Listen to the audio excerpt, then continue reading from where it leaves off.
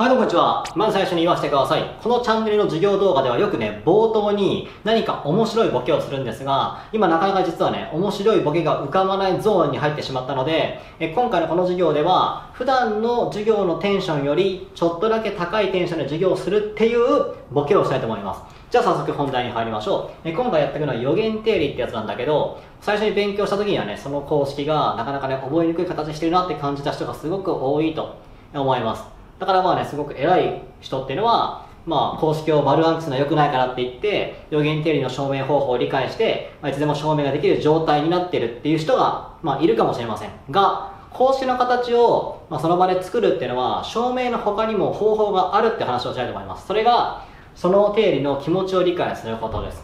まあ、まだね、何言ってるか分からないと思うので、この話をね、最後まで聞いてみると、確かに公式が、まあ、公式の気持ちが分かって、公式のその式自体に何か色がついて見えるようなね、感覚が得られると思います。思います。じゃあ早速やっていきましょう。まず、予言定理をこういうふうに考えてほしいのね。はい。三平方の定理の拡張と。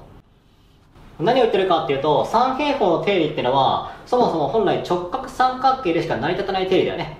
それを直角じゃない三角形に適用しようと思った時に出てくるのが実はこの予言定理ってやつなのね。まずそこを理解してもらうために三平方の定理確認してみましょう。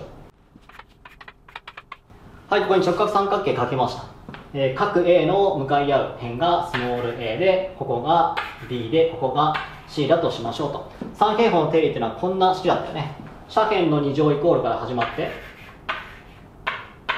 その他の辺の2乗の和でよかったでしょうと。だから b2 乗足す c2 乗と。だったでしょ？だったでしょ a2 乗イコール b2 乗プラス c2 乗と。これが三平方の定理だった。でも今考えたいのは、じゃあ直角三角形じゃない時にこれは使えないのと。もちろん使えないんだけど、ちょっと修正をすることによって使えるようになるのね。ちょっとそれを書いてみましょう。はい、ここに角 A が直角じゃない三角形書いてみました。ここ見てください。ここ。直角よりもちょっと小さくなっちゃってるよね。ただ、ここでも無理やりさ、三平方の定理みたいな式を書こうと思うとこうなるでしょ。A2 乗イコール。B2 乗プラス C2 乗って。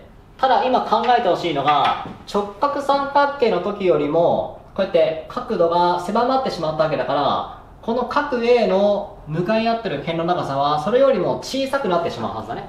つまり直角の場合はこうやって広がってるんだけどそれより角が小さくなったら A はその分だけ縮んでしまうはずと。だから三平方の定理三平方の定理に出てくる A2 乗よりも小さくなきゃいけないはずなのね。だからここに引き算の何かしら入ってくるはず。マイナス何かこうやって。こういうのを今じゃあ修正項ということにしようか。三平方の定理を修正するときに現れる項だから修正項。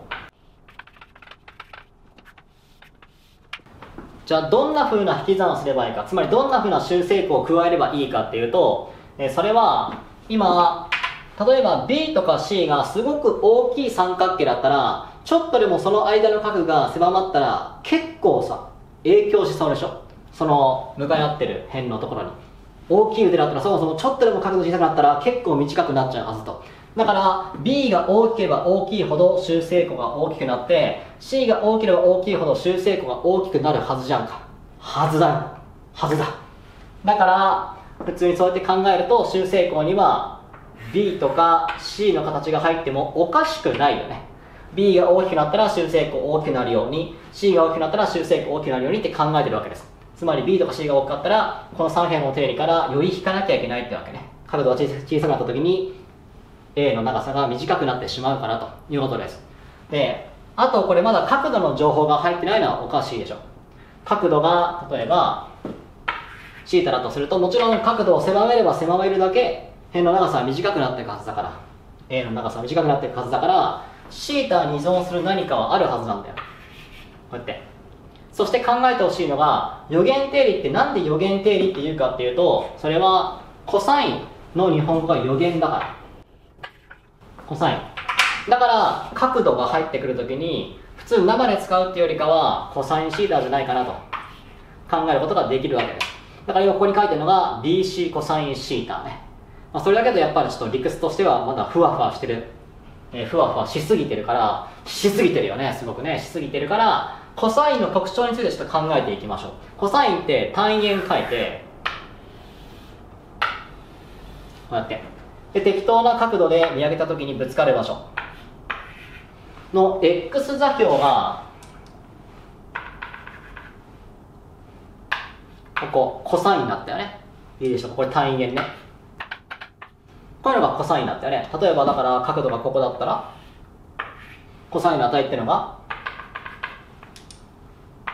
ここみたいな感じね。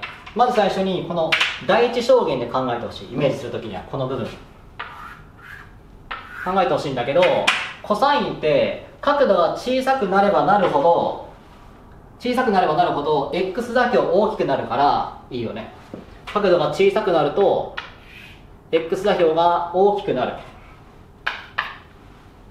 という特徴を持ってるでしょ。これ実はぴったりなんだね修正項に。なんでかっていうと角度が小さくなるっていうのは直角からどんどん離れていってしまうってことね。そうするとぐんぐんぐんぐんその向かい合ってる辺は小さくなっちゃうはずだもんねだから角度が小さいと修正がいっぱいなされるってことだからコサインが大きくなるコサインってぴったりだよね修正項に他にも何が言えるかっていうと今シーターが90度じゃない場合で考えてたけどたまたまこれが90度だったら3平方の定理に戻らなきゃいけないじゃんかいけないよねそれはねいけないです90度の場合ってコサインって0なんだよね。90度の時は x 座標0になるから。そうするとこの部分が全部消えて3平方の定理に戻るもんね。いいでしょうか。だから予言定理っていうのは実は3平方の定理におまけがついた状態なのね。ちょっと書いておきましょう。3平方の定理ですこの部分。はい。こんな風に。えそしてもうちょっと理解を深めるために言っておくともちろん直角三角形じゃない三角形ってここが A 角の他に鈍角の場合もあるじゃん。広がっちゃう場合。そしたら直角三角形の周りよりも辺の長さは長くなるはずだよね。えでも引いちゃってるじゃんと思うかもしれない。でもこれうまく対応してるよね。それはコサインだから。90度を超えるとコサインってマイナスになるでしょ。そうすると修正項はプラスに変わるんだね。だから辺の長さを大きくする効果に変わってくれる。めちゃくちゃ偉いやつじゃん。めちゃくちゃ偉いよ。大好きですコサイン。っていう感じ。でもちょっとだけちょっと修正が必要でこればっかりはね証明とかしないとなかなかねそのパッと思いつくものじゃないんだけど実際証明をするとこの2倍が正しい修正項ということになります。もちろんねその2倍とか出すためには証明してみればいいんだけどただこの形をバンバン予言定理として覚える負担はもういらないでしょ。これが本当に予言定理なわけだけども今後考えるときには三平方の定理に何かおまけがついたもの修正がついたものと。で A 角の場合に引き算するような修正だったからマイナスが入って B とか C が大きければ大きいほど修正が大きくなりそうだから B と C がこの形で入ってくる。そして今ちょうどいい角度が小さい時に大きくなってっていう風な特徴があるものを考えるとその三角関数はコサインであると。でやっぱりねそんなに単純な思考だけではうまくいかなくてその本来は2倍ってものが正しい修正項だということになります。だからまとめると予言定理をじゃあいざ覚えようっていう時には全部覚える必要なくて三平方の定理にあるであろう修正項の形に2倍したものって考えればいいんだね。実際に自分の感覚ね自分の感覚として予言定理で、まあ、頭に押さえてるというか覚えてるものはこの2だけです。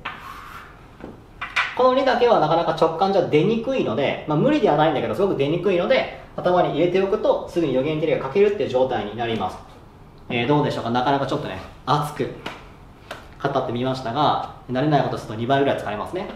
えー、今回みたいに予言定理の他にもですね公式を証明するという他にその公式のことについて深く理解する方法っていうのがあってそれがこんな風に気持ちを理解することなのね。そうするとどうですか？これ最初に予言定理見た時よりもなんか公式に色がついてるように見えないか。今まあ実際色つけたから見えるよっていう風なまあそういう、え、冷たいツッコミいらないんだけど実際にこういう文句が書いてなくても数学ができる人の頭にはこういう風に色がついて見えてるね公式に。そうするとなんかあいつよく公式覚えてんなって状態になるわけです。それは丸暗記して文字の形を覚えたわけじゃなくてこういうふうな頭がある人っていうのは公式がスラスラ頭に入ってくるし早く使いこなせるだろうね。しっかりその本質を掴んでるからということになります。ということでね今回予言定理について深く考えてみました。もちろんね公式の証明やったことない人は、ね、公式の証明もしてみてください。ただねこういう気持ちを理解して哲学を楽しむ方もあるってことをね分かってくれればいいかなと思います。それではお疲れ様でした。最後までご視聴いただきありがとうございました。今回の授業少し面白かった役に立ったなと思った人はぜひチャンネル登録高評価の方よろしくお願いします。えー、まあねコメントもたくさん待ってます。コメント全部読んでます。なのでねぜひね積極的にコメント残してくれたら嬉しいです。また別の授業動画でお会いしましょう。さようなら。